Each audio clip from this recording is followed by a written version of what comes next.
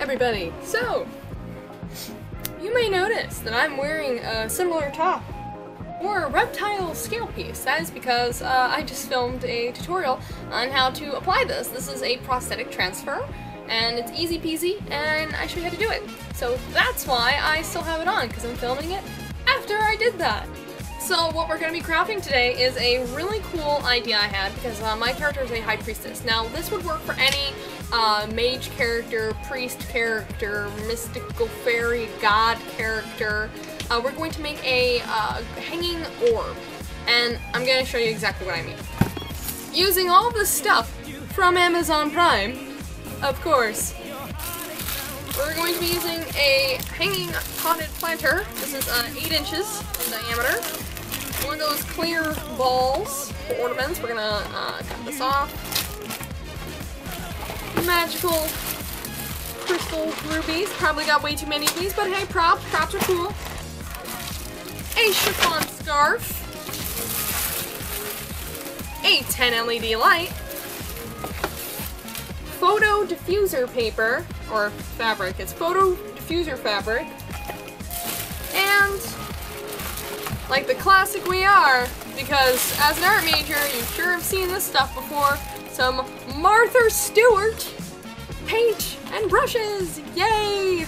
So we're gonna be making a really cool glowing orb, and now the whole idea of this is to get a crystallized, kind of uh, truly like opalescent orb effect. So hopefully if I don't screw it up, we're gonna have a really cool thing at the end. Ooh, half my face is cut off, but I'm not what's important here. So, essentially, this is what we're gonna do. So I bought this planter thing for like, I believe, what was like, $8 off of Amazon. So this is what the plant goes in. It's like your little earthy plant bowl. Uh, you just easily take it out just like that. Um, and this is really what we came here for, is this part, because this is all metal. So we have these awesome chains, and we can hold it by the hook up top. So you can already see the kind of effect that I'm uh, I'm going for here, and it's gonna be really neat once it's all finished. So the reason uh, I have photo diffuser fabric here is similarly because I actually have some on this light right here, is because it diffuses light. So this is supposed to diffuse the light, so it doesn't look so strong. This is actually really, really, really, really bright. Now, uh, the plan for these, because I actually have two, so if I, in case I mess up on one, I have, uh, like, another full orb. So, we're going to paint the inside of this with the Martha Stewart Frost, and I have, uh, you know, I looked at the setting time, of course, of the frost paint, and it's 21 days to cure. Now, curing is not the same as drying. Uh, curing is for, because this stuff is dishwasher safe, so if you want to cure these items for 21 days so you can wash them, this will absolutely be okay for that. But as long as it dries, which it will, uh, it's perfectly fine for what we have to do. Uh, and it'll dry even longer over time. We are going to line the inside of this so all of our marbles and stuff don't fall out with our chiffon. Crystals are optional because this is actually pretty small. I don't know how many of them we're going to be able to sprinkle in. But uh, the crystals, like, because one of these comes in 10 inches, so if you wanted to kind of embellish it more, have a little bit more room, get the 10 inches, but I opted for the 8, only because I wanted a little bit of a tighter fit and not to worry about placing it. But it's pretty cool because it can stay on its own pretty well. And we also have the um, Greatest Artist Companion, the Hot Glue Gun, which is already splurting glue everywhere on my glass beautiful craft table. Let's get started!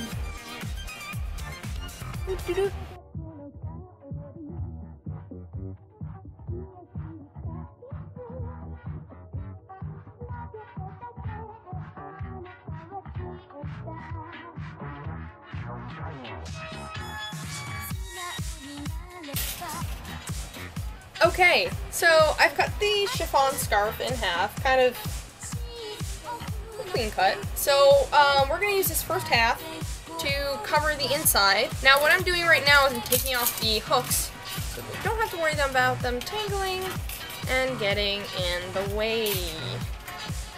So what we're going to do is, is we're going to take our fabric, we're going to lay it right over the top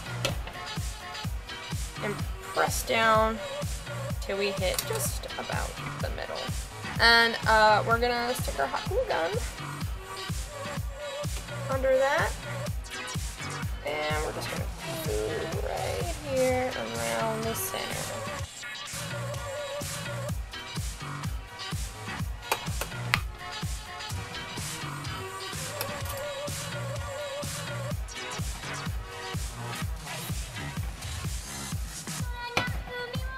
Be careful, you can burn your fingers.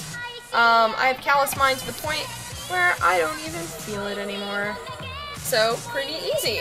Looks pretty flowy uh, right now. So, uh, we're gonna cut a hole uh, where each of the dials are.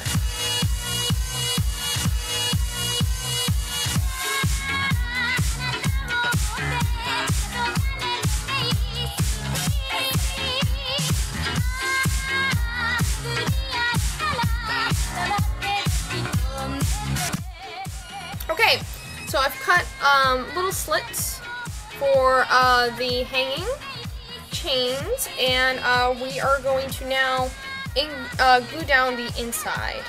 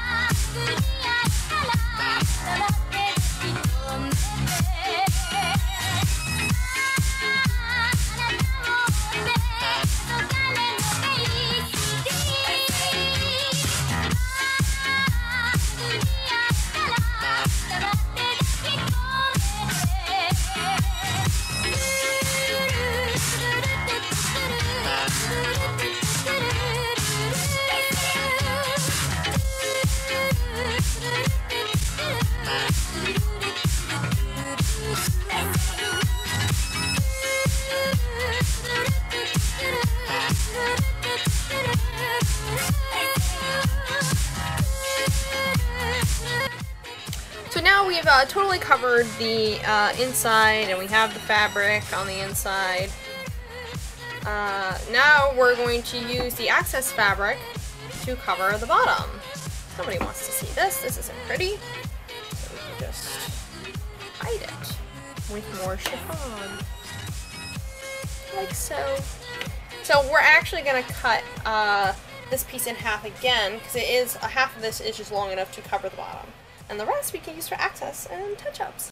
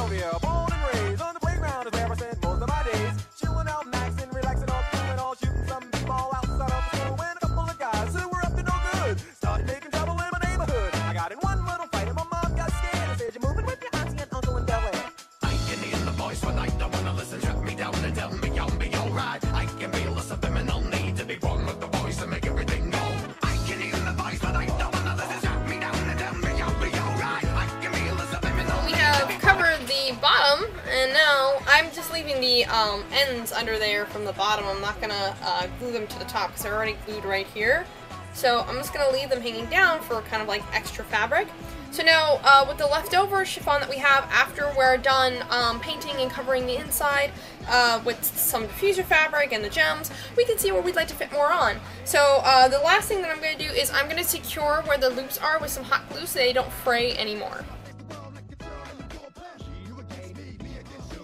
So now that we've secured those, um, it's now time to get on to modifying our orb here. We're also going to be cutting off the tops of these, because we definitely don't want these, but I'm going to be holding on to it because I need to paint it, so we're going to do that next.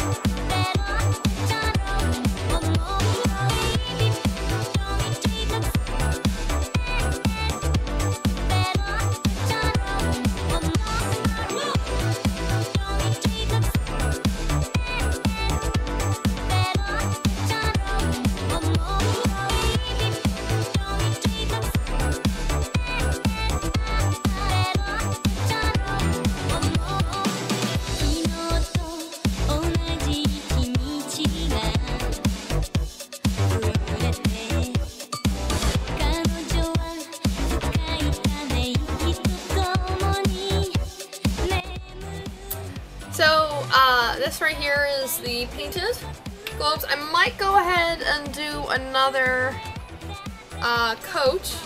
These are the two halves. I stipple painted them. So now with this done, um, we're gonna wait for everything to dry and we'll be back. Okay guys, so uh, these have dried. Uh, so they are touchable. And I have cut the, um, the ornament top, the thing that used to be here. So, put it together, it looks like this. Looks pretty good. So this is kind of like the crystal ball-esque kind of look that I was going for. So we can test it now with the light inside.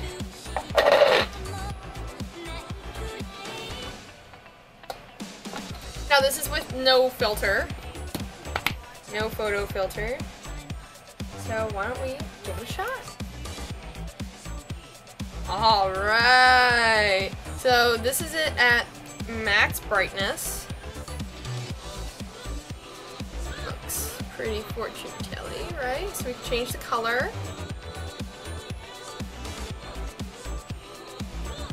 And then um, this also has the ability to uh, flash or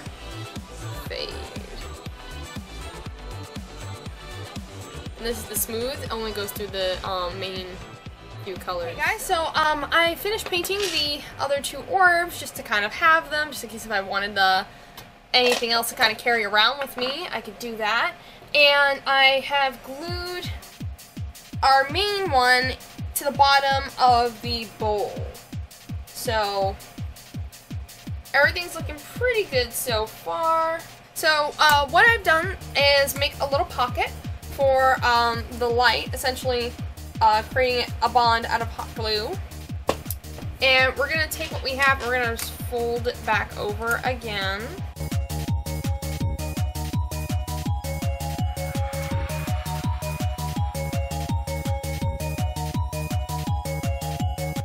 Okay, so now we have uh, those two sides down as well. So now we have like this double pocket kind of thing going on right here. So we're diffusing more light.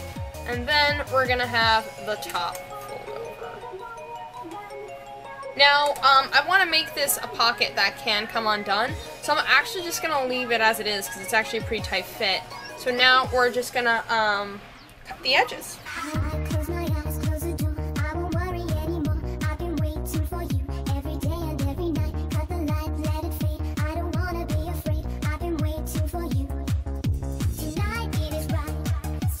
Okay, so now we have our little pocket. Our light just goes right in there. Fold that over. And then we can just tuck it real nice into the bottom of our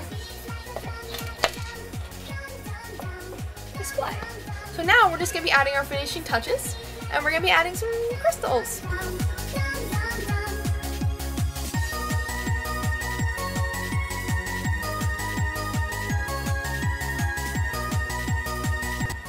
Okay, so I've added in the crystals and now I'm finally to move you guys from your resting place for you to take a look at all those crystals. So now I'm to connect the chains and we're to look at the final product.